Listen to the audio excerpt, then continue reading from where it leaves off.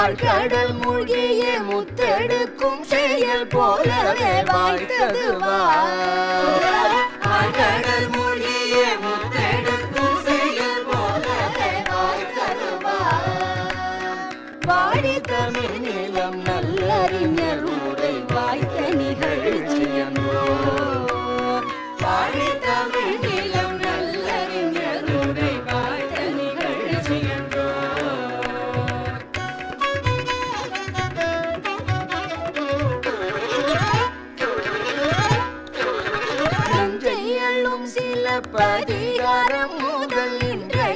மீண்டும் வரை.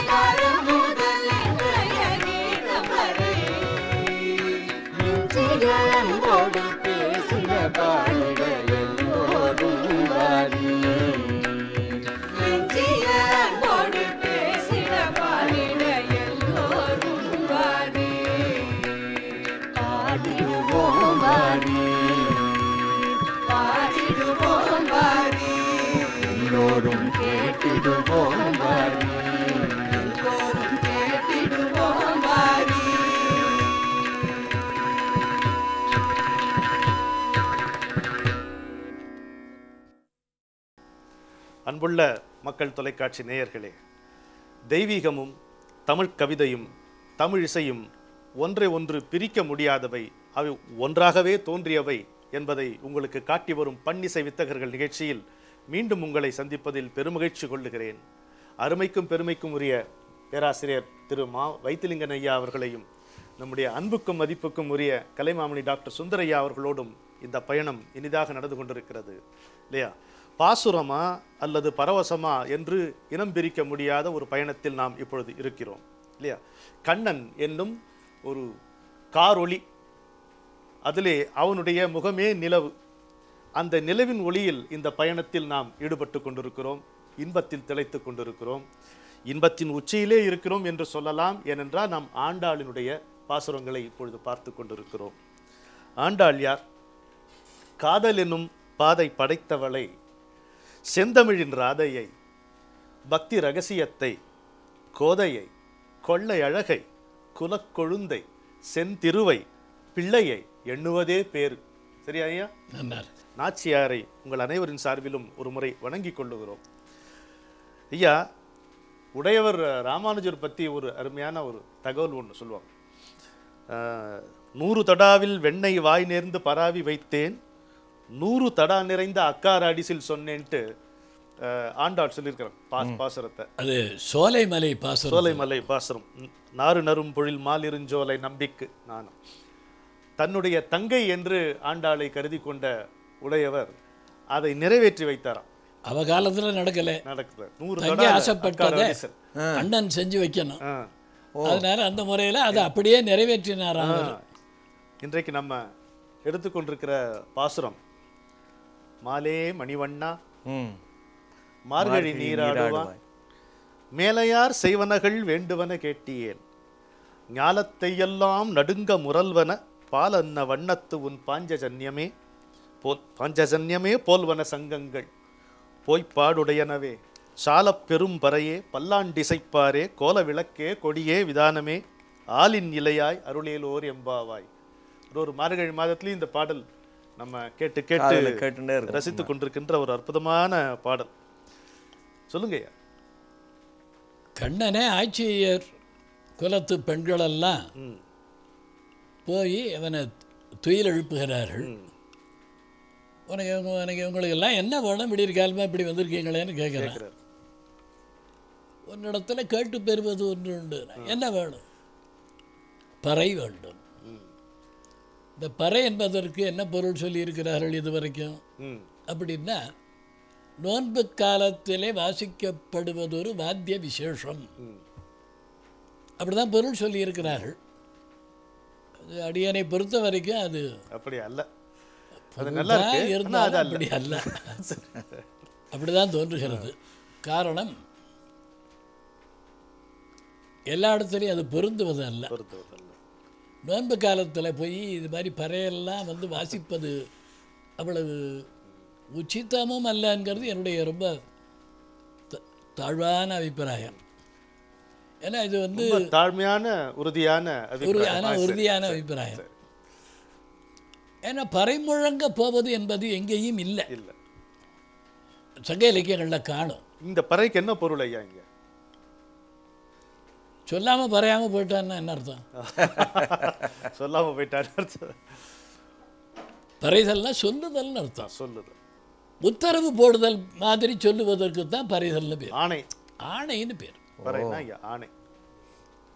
அதனால அதற்கு ஏவல் என்று பொருள் சொன்னால் ம். பொருத்தம். மிகச் சிறப்பாக இருக்கு சிறப்பா. ம். உன்னுடைய இன்னைக்கு நீ எங்களுக்கு கொடுக்கிற. ஏவல் என்ன? எங்களை என்ன காரியத்திலே நீ ஈடுபடுத்த போகிறாய்? உன்னுடைய ஆணை என்ன இன்னைக்கு? என்ன இன்னைக்கு என்ன? உன் அதாவது உன்னுடைய காரியங்களில் எதை நாங்கள் எடுத்து செய்ய வேண்டும்? யார் யார்கிட்ட கேட்கறது இது? ஆட்சிய பெண்கள் ம். கண்ணபிரானை நோக்கி கேட்கிறார் ஓ சரி. இன்னைக்கு என்ன எங்களுக்கு கொடுக்க போறேன்? சால பெரும்பறையே அந்த பெரும்பறையாவது என்ன என்று கேட்டால் பல்லாண்டு இசைப்பாரே. பல்லாண்டு பாடுவதற்கு நாலு பேரை நியமிக்கிறோம். பல்லாண்டு பல்லாண்டு பல்லாயிரத்தாண்டு. அங்கே அவனுக்கு வாழ்த்து சொல்லி கொண்டிருப்பார்கள் ஒரு பக்கத்தில். கோல விளக்கே கோல விளக்கே. அவன் வருகிற பொழுது விளக்கு ஏந்தி வர வேண்டும். ரெண்டு பேர். இந்த பக்கம் ஒருத்தர் அந்த பக்கம் ஒருத்தர். நீ அதை செய்ய வேண்டும். இந்த பக்கம். ஆமா. கோல விளக்கு கொடி கொடி. கொடி பிடிக்க வேண்டும். அதனுடைய அடையாள கொடியை பிடித்து வர வேண்டும். விதானம். விதானம்னா மேற்கட்டி. அஸ்மானகிரின்னு சொல்லுவார்கள் அந்த மேற்கட்டியை அவன் வருகிற பொழுது அவன் பிடித்துக்கணும் அப்படி பிடிச்சுக்கணும். அது எதுக்கு? ஏதாவது சிலந்தி கிளந்தி விழாமல் இருக்கிறதுக்கு பனித்துளி படாமல் இருப்பதற்கு. அதற்காக விதானம். கோல விளக்கே கொடியே விதானமே. ஆலின் இலையோ? ஆலிநிலையாய் அதாவது ஆலமா ஆலமரத்தினுடைய அந்த ஒரு இலையில அவன் கடைசியில் பள்ளி கொள்வதாக ஒரு கொள்கை. ஆமா. சங்கர்ஷண மூர்த்தியாக பிரளய காலத்தில் அப்படி அந்த ஆலிலை மிதக்கும் அதில் அவன் படுத்திருப்பான் அப்படின்னு ஒரு கொள்கை. அருமை. அந்த முறையில் ஆலின் இலையாய் அருளேல் அருள்.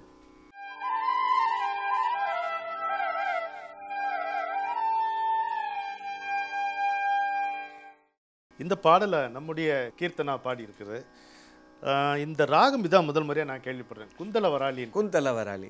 குந்தல வராளியும் ஒரு ஜன்னிய ராகம் தான். எல்லா ஸ்வரங்களும் வராது.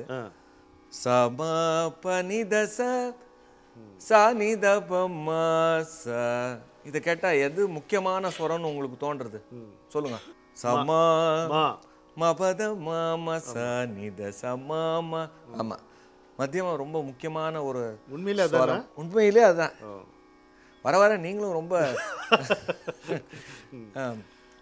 ச சமம சமப மனிதபம ச சனித நீ நிதபத தபம ச சமம ச சப்ப மனித ச சம சனித தச நிதப மனிதபம மனமே நீஷன் நாமத்தை வாழ்த்துவாய் தினம் வாழ்த்துவாய்.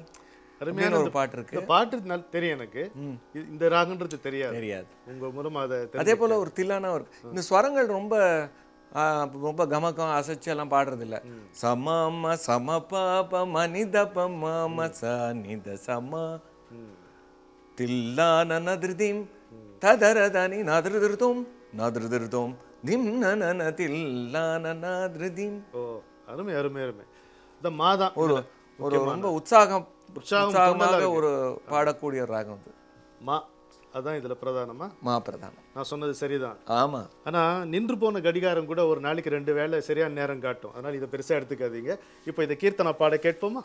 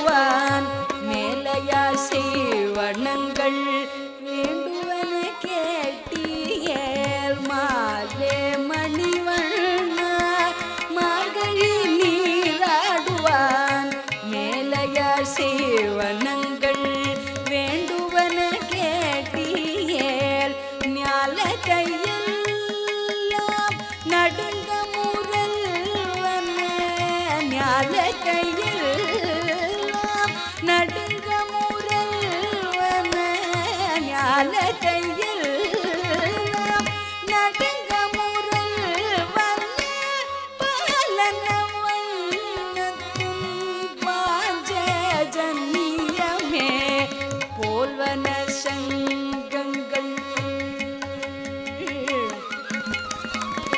போல்வன சங்கங்கள் பொய்பாடுடையனவே சால பெரும் பறையே.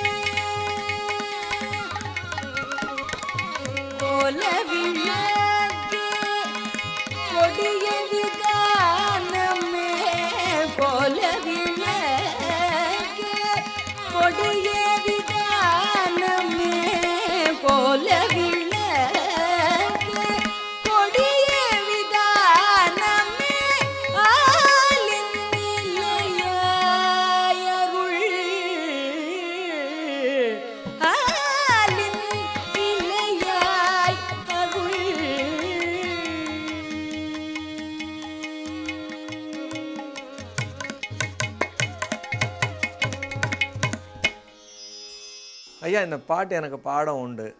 மாலே மணி வண்ண. அதில் நான் பா எனக்கு பாடாந்திரம் வந்து அருளேலோ ரெம்பாவாயின்னு வரும் கடைசியில். அருளேலோ இந்த பாட்டில் அருள்னு நிறுத்திவிட்டா என்ன? இந்த பாவை பாட்டுல எல்லாம் ஏலோர் எம்பாவா என்பது முடிப்பாக இருக்கும். ஆமாம் திருப்பாவை திருவெம்பாவை ரெண்டுமே மார்கழி முப்பது நாளை தவிர்த்து அந்த ஆண்டில் எந்த மாதத்திலும் எந்த நாளிலும் சேவிக்க கூடாத பாட்டுகள். ஓ. சேவிக்க கூடாதுன்னா அந்த நாட்களிலே அது திருக்காப்பிலே இருக்கிறதாக அர்த்தம். ஓ. தூங்குறவரோட அனாவசியமாக தட்டி எழுப்பி நீ தூங்குறியான்னு கேட்குற மாதிரி. ஆமாம் ஆமாம் செய்யப்படாது. அது திருக்காப்பிலே இருக்கிறது. வைஷ்ணவ சம்பிரதாயத்துல தவிர்க்க வேண்டிய பாவங்கள்ல இது ஒண்ணு சொல்லப்படுகிறது வைஷ்ணவ சம்பிரதாயத்துல. தூங்குறவனை எழுப்புறது. ஆமாம் தூங்குறவங்களை எழுப்பப்படாது அது மாதிரி திருக்காப்பிலே இருப்பதை அதை அன்றைக்கி திறந்து விட்டு அதை வெளியில் உலவ விடுறதுங்கிறது அது கூடாத ஒன்று. எனவே தேவைப்பட்டதுன்னு வச்சுங்க. சொல்ல வேண்டிய நேரம் வந்தது. இப்போ நமக்கு அந்த மாதிரி ஒரு இக்கட்டான நேரம். அந்த பாட்டை சேவிக்கணும் அப்படின்னா ஏலோர் எம்பாவாய் என்பதை விடுத்து அப்படியே நிறுத்திக்கணும். நீங்காத செல்வம் நிறைந்து அப்படின்னு வாழ்த்தணும். ஏலோர் எம்பாவாய் சொல்றதில்லை. அதான் அருள்னு நிறுத்தி பாடியிருக்கா. ஆமாம் அருள்னு நிறுத்திக்க வேண்டியது இந்த பாட்டை பொறுத்த வரைக்கும். இதே எபிசோட் டிசம்பர்ல சம்பிரதாயம். வந்தா அதுதான் பாடலாம். அதுதான் வந்து சைவத்திரியும் சம்பிரதாயம். அன்புள்ள மக்களே மிக மிக அருமையான ஒரு தகவலை ஐயா சொல்லியிருக்கிறார்.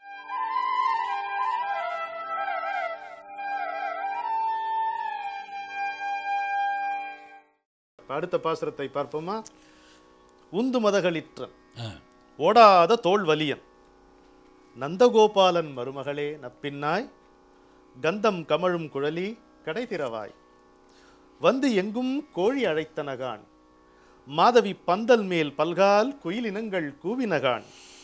பந்து ஆர் விரலி உன் மைத்துனன் பேர்பாட செந்தாமரை கையால் சீரார் வளையொலிப்ப வந்து திறவாய் மகிழ்ந்து. ரொம்ப சரியா சொன்னீங்க. அது நாம சொல்லலாம். இந்த.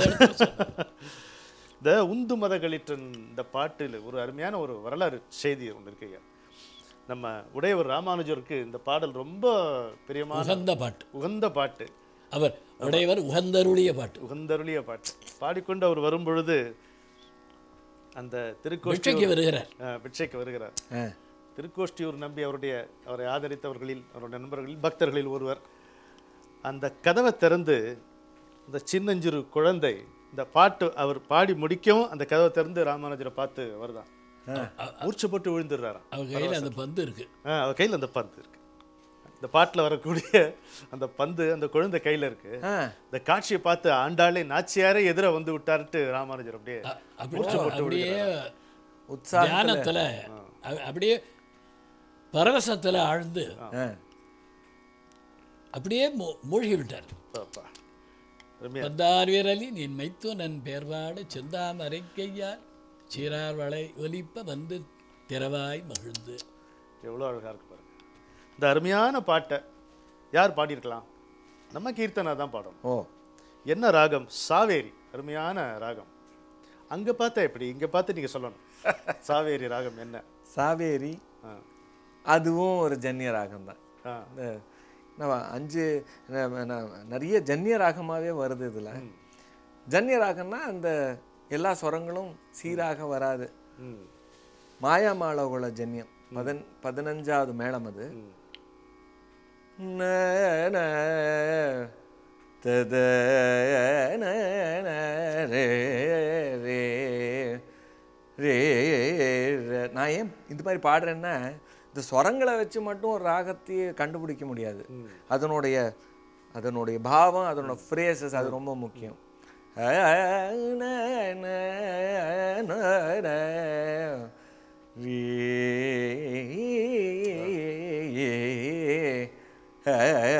ந, ந, நோ சரி மம ரிம பப மபத பத சா நீத ம பத நீத மகரி ரே சரி நீத மகரி சரி க சரி. தரி சா இது சாவேரிங்கிறது அந்த ரீ ஷட்ஜமத்துக்கு ரொம்ப பக்கத்தில் அந்த ரிஷமம் இருக்கிறதுனால சில பேர் அது சாவேரி அப்படிதான் பேர் வந்ததோ அப்படின்னு சொல்றது உண்டு. முருக முருக என்றால் உருகாதோ உந்தன் உள்ளம். இந்த மாதிரி நிறைய பாட்டு இருக்கு. குந்தலவரா அலங்காரம் உள்ள சாவேரி ராகம்னு இதுக்கு ஒரு இன்னும் இருக்கு? சபை அலங்காரம். சபை அலங்காரம் உள்ள சாவேரி ராகம். அப்படி சொல்றது உண்டு அது. ஐயா குந்தலவராளி உற்சாகமும் துள்ளலுமாக இருந்தது. சாவேரியில ஒரு உருக்கம் ஒரு. கனிவு கனிவு உருக்கம் அப்படி இருக்கிறது. தியாகராஜ சுவாமி ஒரு கம்போஸ் பண்ணியிருக்கார் ராம பாண திராண சௌரிய. அதுல உருக்கமா தான் பாடணும். இந்த அருமையான பாடலை கீர்த்தனா பாட கேட்போமா?